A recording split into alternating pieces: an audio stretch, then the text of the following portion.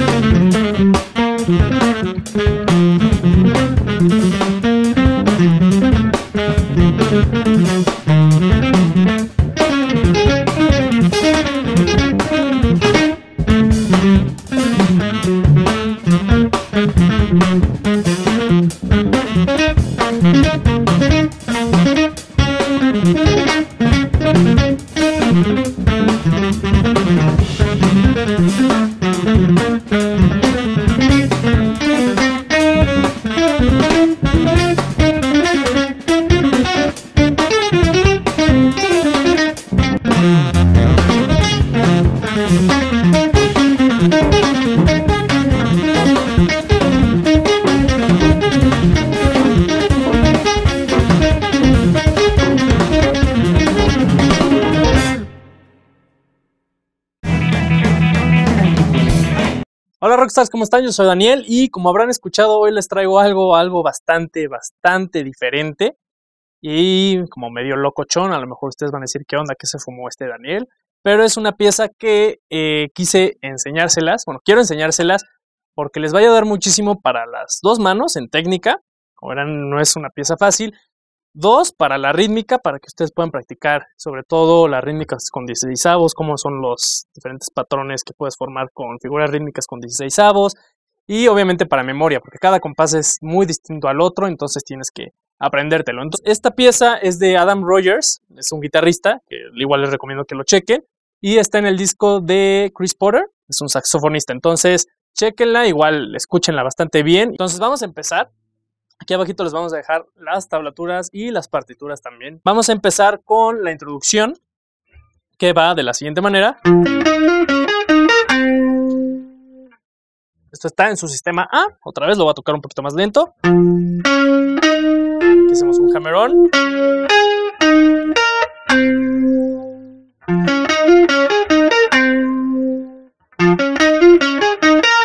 Esta pieza tiene también mucho de saltar cuerdas, hammer-on, pull-offs, este, y es muy, muy atonal, es decir, no tiene un centro tónico, entonces por eso luego es más difícil de aprendérsela. Entonces ya esa es la introducción y nos vamos a lo que es como el groove.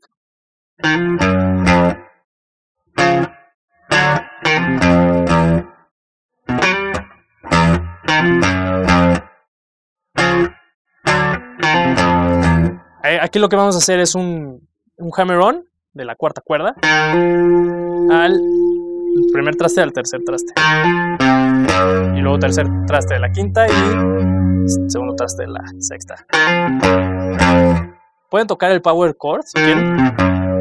Aquí o nada más la sexta cuerda.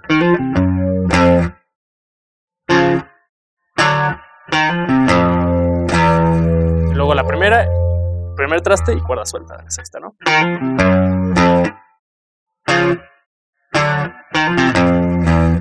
Y por último, entonces, cuando practiquen esta pieza, siempre pongan el metrónomo o con su pie, si tienen ya bastante control, eh, eh, pisen, ¿no? Entonces, lo voy a tocar. Un, dos.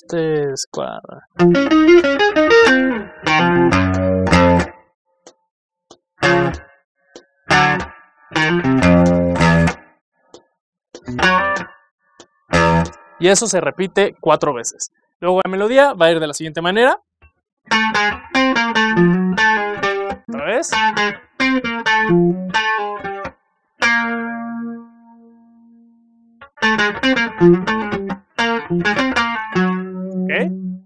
El segundo compás.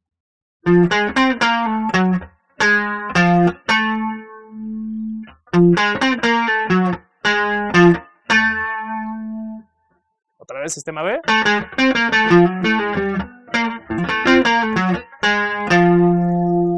Sistema C.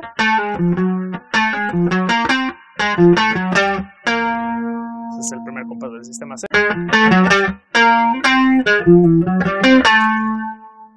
Luego en el sistema D compás del sistema D. Luego en el sistema E, sistema E.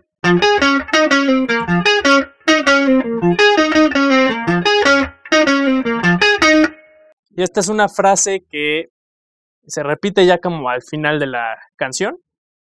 Entonces, para que lo vayan practicando. Esa frase, ¿no? Bueno, antes de pasar al sistema F y a los siguientes ocho compases, vamos a escuchar del intro hasta el sistema E eh, en un tempo de 112.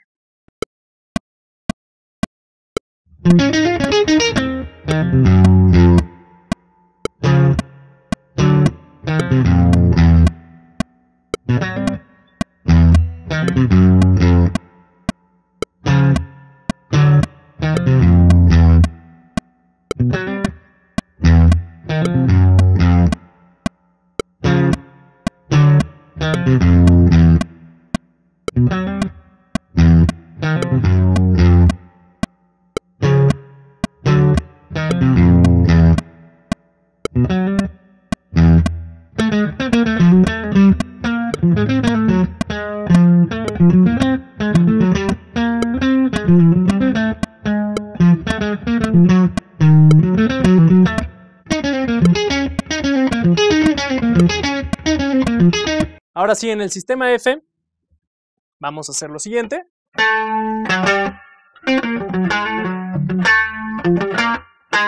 Otra vez.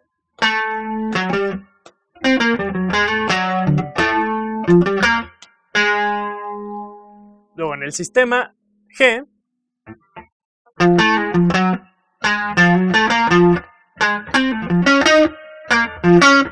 Otra vez, sistema G. Tres, cuatro.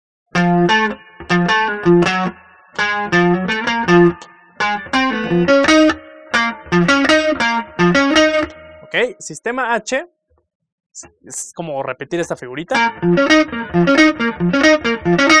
Entonces va a ser así el sistema H.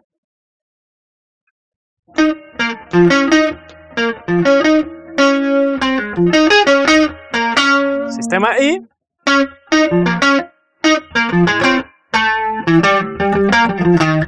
Otra vez sistema I.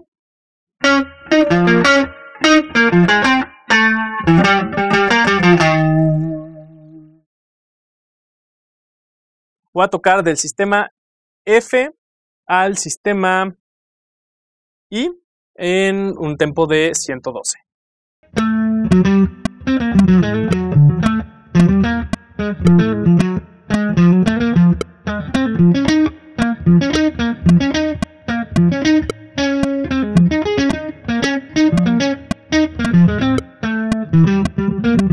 Ok, entonces eh, esta es la primera parte de este tutorial. Practíquenlo, vean las, las tablaturas, pero también vean muy bien las partituras y vean la digitación.